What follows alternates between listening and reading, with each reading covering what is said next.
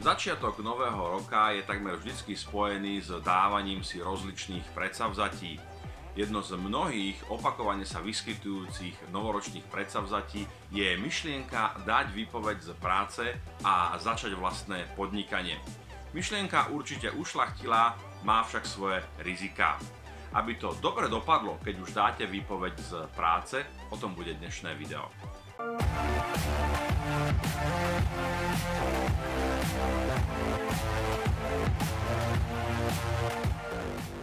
Vítajte na videokanáli Martina Prodaja, vítajte na mieste, ktoré je venované osobnému a profesnému rastu, kde sa venujem témam od zarábania peňazí až po zvládnutie meditácie. Tak ako som avizoval na začiatku toho dnešného videa, dneska by som sa s vami chcel porozprávať o takej tej pomerne štandardnej situácii, ktorá nastáva e, po novom roku, kedy si ľudia zvyknú dávať nejaké tie predsavzatia a totiž o situácii, kedy máte v hlave myšlienku, že práca vás už možno nebaví, že vás nenaplňa, neuspokuje, neposúva vás nejakým spôsobom dopredu a začínate uvažovať nad tým, že sa pustíte do vlastného podnikania. A teraz ste sa rozhodli, že dáte výpoveď z práce. A ja hovorím pr, pr, pr, pomaly, pomaly, pomaly. Najprv si je potrebné veci dobre premyslieť. Poďme sa teda pozrieť na niektoré základné alebo kľúčové aspekty, ktoré je dobré mať v hlave, alebo také podmienky, ktoré je dobré mať splnené, aby sa naozaj ten prechod z toho zamestnania do vášho vlastného biznisu obyšiel bez nejakých pádov, kotrmelcov a bez nejakých e, nepríjemností. Takže poďme na to. Úplne na začiatku, tak ako vo všetkom, o čom hovorím, je veľmi dôležité sadnúť si k stolu s čistým papierom, s čistou emóciami, nezaťaženou hlavou a začať rozmýšľať. Predstavte si naozaj tú situáciu, že odídete z práce. Stratíte nielen kolektív, ktorý povedzme, že do istej miery mohol byť uspokojujúci alebo mohol vám dávať nejaký význam, ale predovšetkým prídete o to najdôležitejšie, prečo väčšina z nás chodí do práce a totiž o príjem. A váš vlastný biznis, či už je to firma alebo len tá pozícia freelancera, je niečím, čo vám ten príjem bude musieť nahradiť. Čiže sedíme pri stole, máme pred sebou čistý papier a začíname rozmýšľať nad tým, že chceme sa pustiť do toho nášho podnikania. Predovšetkým vieme, čo vlastne budeme chcieť robiť, máme už nejakú hrubú predstavu, v akej oblasti, v akom segmente toho nášho podnikania sa budeme hm, pohybovať. Je to povedzme nejaká firma, budeme predávať nejaké produkty alebo budeme predávať nejaké služby máme už vytvorenú nejakú e, webovú prezentáciu, máme webovú stránku, máme nejakú databázu klientov, s ktorou budeme môcť v podstate okamžite začať pracovať v tom okamžiku, ako dáme výpoveď. Vie o nás niekto? Máme zvládnuté nejaké základy marketingu, pretože pokiaľ máte nejakú službu alebo produkt, o ktorom nikto nevie, nemáte žiadnu databázu, tak budete musieť investovať hodne veľa času, a možno aj nejaký ten peniaz do marketingu, do kanálov, cez ktoré sa k vám zákazníci dostanú. Máte založený, už som hovoril teda o webovej stránke, ale takisto je dôležité mať povedzme Instagramový profil, kde už máte nejaké posty, kde máte nejakých followerov, možno YouTube kanál, možno uh, Twitter, uh, možno dobrý profil na LinkedIn. To všetko sú časti nejakej záchrannej siete alebo nejakých pomocných opatrení, uh, ktoré vám pomôžu hlavne pri tom e, rozbehnutí. No a takisto je ešte veľmi dôležité, že je veľmi, e, veľmi dôležité byť veľmi kritický. To znamená, že nemalovať si nejaké, nejakú rúžovú budúcnosť, nejaké rúžové čísla v obrate, v zákazníkoch, e, v zisku, ktorý možno z toho podnikania budete mať, ale naozaj je potrebné sa pozrieť na veci s takým tým konzervatívnym, možno veľmi kritickým pohľadom. Ide totiž o to, aby ste neskočili, aby ste sa nepodobali na taký ten typ podnikateľa, ktorý skočí z útesu a spolieha sa na to, že počas pádu si stihne postaviť lietadlo alebo minimálne rogalo a nejak, to, nejak ten pád zvládne a vyberie to tesne predtým, než sa e, dole rozpleskne na masný flak. Takže to je tá práve taká tá analytická, tá rozmýšľacia fáza na začiatku. Mám zákazníkov, mám vôbec nejaký produkt, e, mám nejakú službu, mám databázu, mám marketingové kanály, mám nastavené procesy. To znamená, že ako mi bude prúdiť cash flow, aká bude cesta zákazníka, ako budem pracovať s peniazmi, mám zabezpečené povedzme účtovníka nejakého, ktorý sa mi bude starať o finančné toky alebo bude ich teda evidovať a tak ďalej. Čo to všetko potrebujete mať minimálne v hlave upratané, nemusí to byť úplne hotové, ale mali by ste, mali by tie súčasti tej skladačky do seba zapadať, aby naozaj sa vám nestalo, že odídete z práce a prvý deň neviete, čo máte robiť, druhý deň neviete, čo máte robiť, ubehne prvý týždeň, druhý týždeň a len sa tak plácate na mieste a šlapete vodu a peniaze vám z účtu utekajú.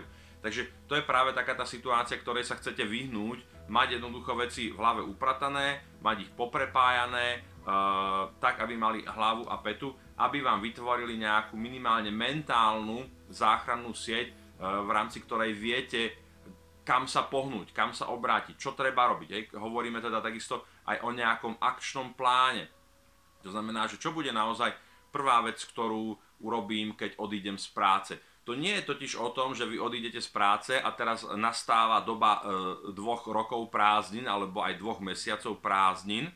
Áno, do istej miery a za určitých okolností by to bolo možné, ale väčšinou je to o tom, že toto obdobie si dopriavajú také, také, také tie pohody, alebo možno trošku oddychu, relaxu medzi dvoma prácami ľudia, ktorí skončia v jednej práci, doprajú si dlhší oddych, ale idú do ďalšieho zamestnania a vedia, že napríklad už niekde ich príjmu. Áno, ale toto nie je váš prípad, pretože vy potrebujete začať makať hneď od toho prvého, hneď od toho prvého dňa.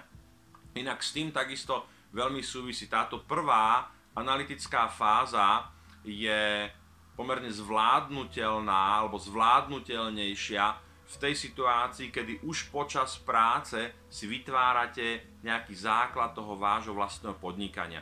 A to je to, čo ja hovorím ľuďom na mojich workshopoch, na, na coachingoch, keď sa bavíme o podnikaní, o založení nejakého podnikania. Rozmýšľa, ak chcete podnikať niekedy v budúcnosti, tak začnite s tým podnikaním už popri práci.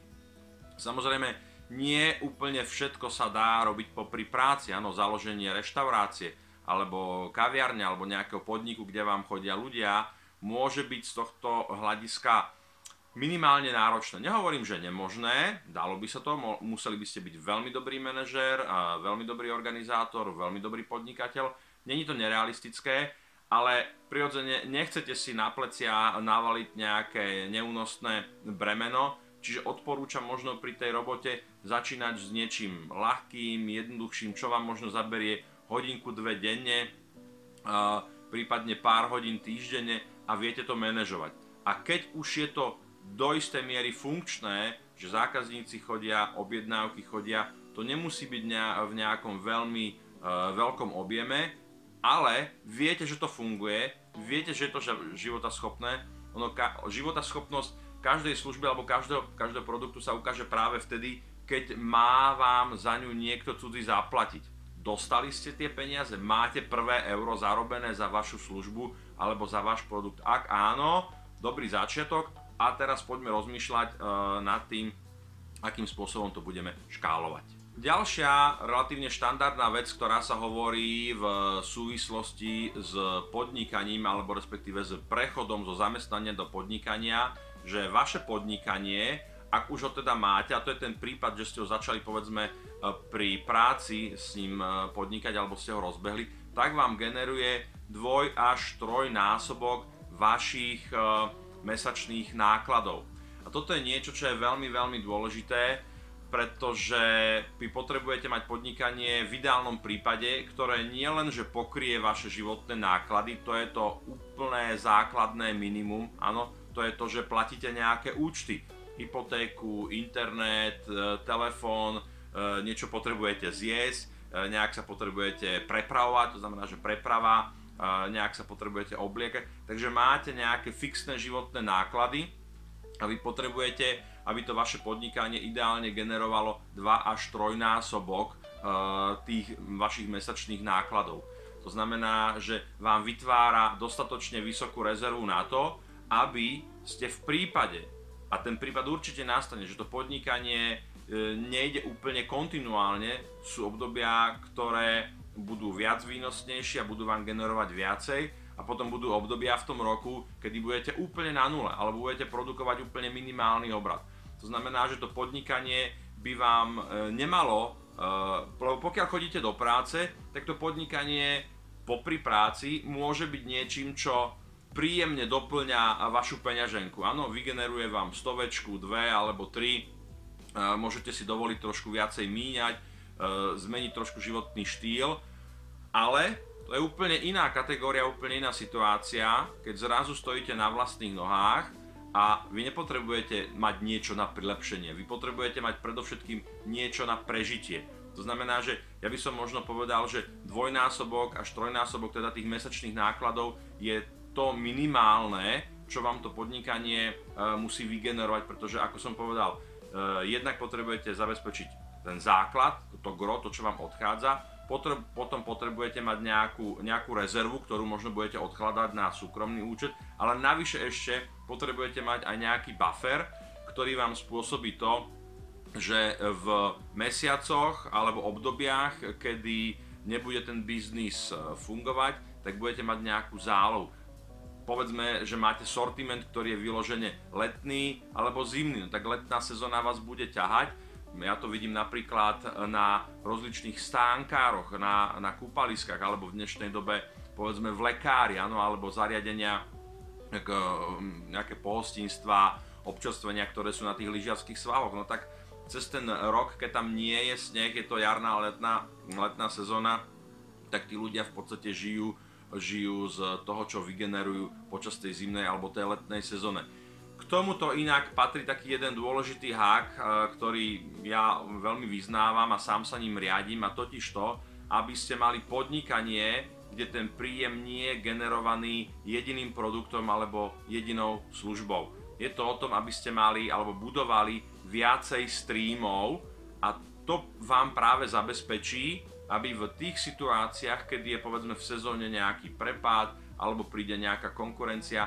aby ste mali v, ak tak sa hovorí, nedávajte pri investovaní, nedávajte do košíka všetky vajíčka, aby ste mali viacero e, košíkov, aby som povedal, že viacero košíkov, v ktorých sedí sliepka, ktorá vám tie vajíčka znáša. To znamená, že nespoliehajte sa len na jednu sliepku, pretože môže prísť e, pohroma, potopa, vbehne do kurína líška, sliepku zahrdú si a skončili ste. Čiže aby ste neboli Eh, úplne závislí na jednom streame, je, je dobré, keď začínate, a dnešná doba to pomerne ľahko umožňuje, aby ste mali viacero zdrojov podnikania. To znamená, že, ja neviem, poviem príklad, máte nejaký vlastný e-shop, kde niečo predávate.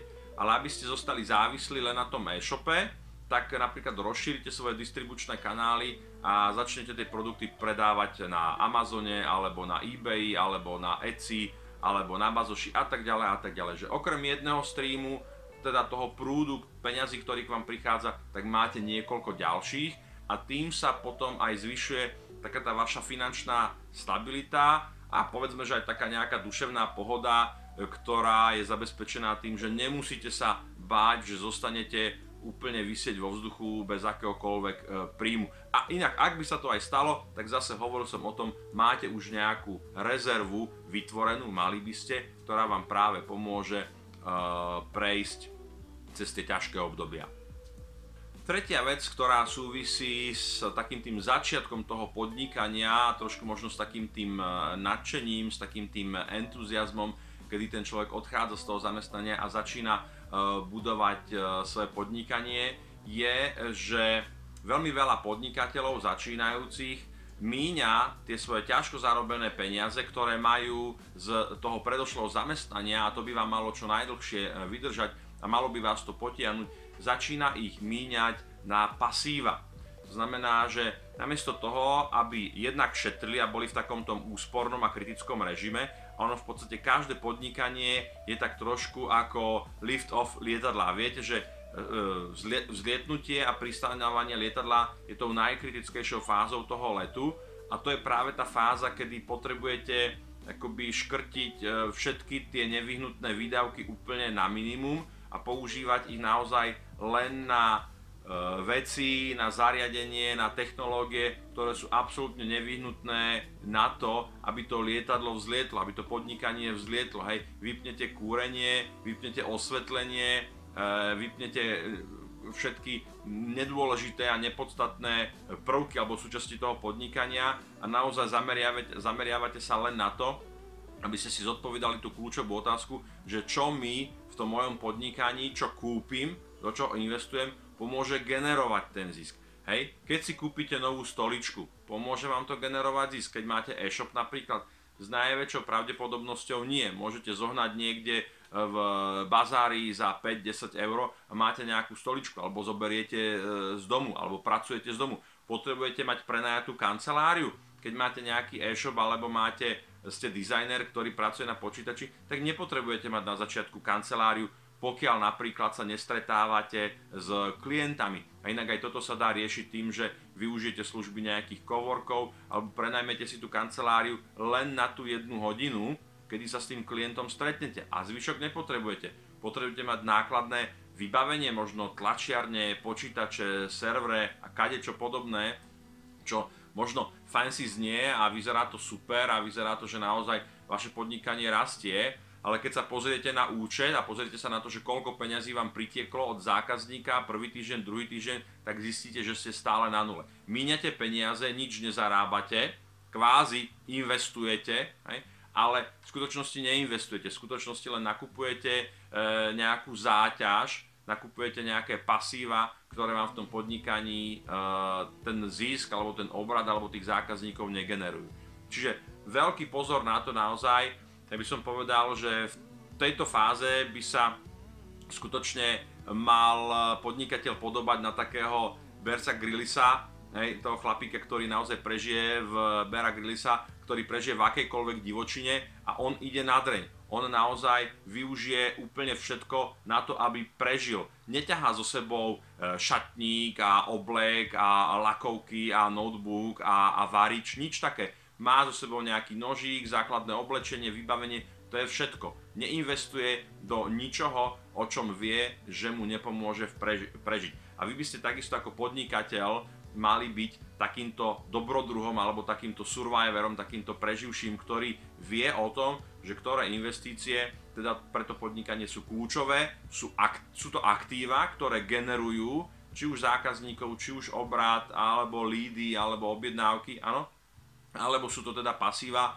ktoré, e, ktoré vám skôr tie vaše e, ťažko nadobudnuté rezervy e, míňajú. Takže priatelia, to boli asi tri také základné elementy, o ktorých si ja myslím, že je dobré ich mať v hlave, je dobré sa nad nimi pozastaviť v tom okamžiku, v, tom, v tej situácii, kedy začnete dumať nad tým, že OK, už ma tá práca nebaví, už ma to nenaplňa, už by bol možno čas na nejaký posun a začnete uvažovať nad vlastným podnikaním. Aby ste sa teda nerozplácli na nejaký masný flak na zemi pri skoku z toho podnikateľského úseku, tak verím, že tieto e, tri podmienky, ono ich je samozrejme viacej, ale tieto tri z môjho pohľadu sú také kľúčové, tak vám pomôžu naozaj úspešný štart toho vášho vlastného novúčičkého podnikania. Tak čo, páčilo sa vám video? Ja verím, že áno, pokiaľ to tak bolo, nezabudnite dať lajka, prihláste sa k odberu a takisto nezabudnite navštíviť moju webovú stránku martinprodaj.sk, kde nájdete kopec zaujímavých bonusov. Zatiaľ je to všetko a vidíme sa opäť niekedy pri ďalšom videu. Majte sa.